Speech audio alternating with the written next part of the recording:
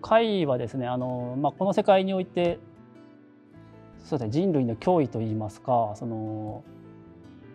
まあその設定的には作られてるんですけどそのこの世界に住んでる人からするとその、まあ、空から飛来してその人間の脳を捕食するために飛来する謎の生命体という設定ですね。彼らにその思考などはなくてただ本能のままその人間を襲うという存在ですね。で、まあ、この世界においてはその怪というものはその何でしょうかね。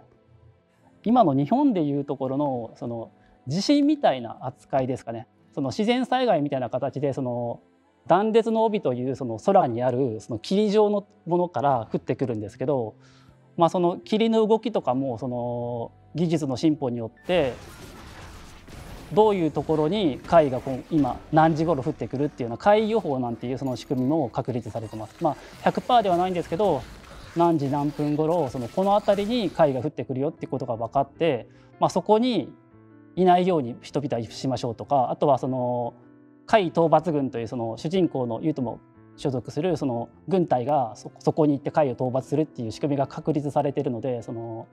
まあ、人々はその海という存在に怯えながらも、まあ、そんなにそのめったなことではそのやられないというかその、まあ、怖いは怖いんだけどそのすごくビクビクして怯えてるというわけではなくてその海海と海を怯えながらもその、まあ、普通に暮らしができてるっていうのがニューシング化という世界ですね。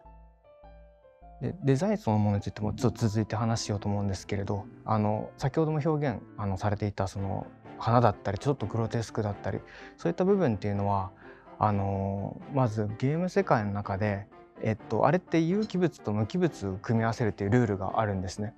それもあの実を言うと設定にも関係してくるんですけれどそれは本編であの知ることができる設定なんですがあのそもそも私たちと概念考え方が違うもの生物であるってことを表現するために、えっと、有機物と無機物が融合してそれがあの生物として成立しているっていうその不可思議さみたいなものを入れたいというのがありました。